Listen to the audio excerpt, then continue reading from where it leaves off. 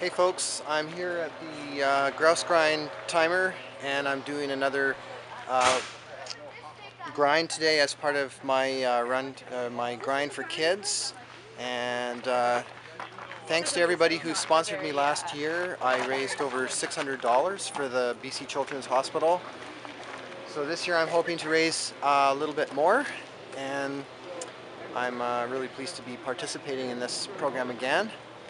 Um, and I want to give a big shout out to my brother-in-law Stephen, who's right now recovering from um, some chemotherapy. Anyway, so uh, this one's for you, Steve. Uh, we hope you get better soon.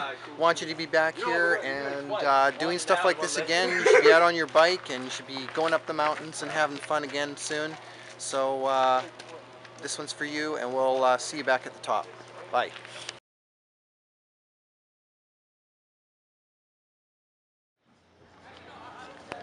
All right, folks, I've just uh, reached the top.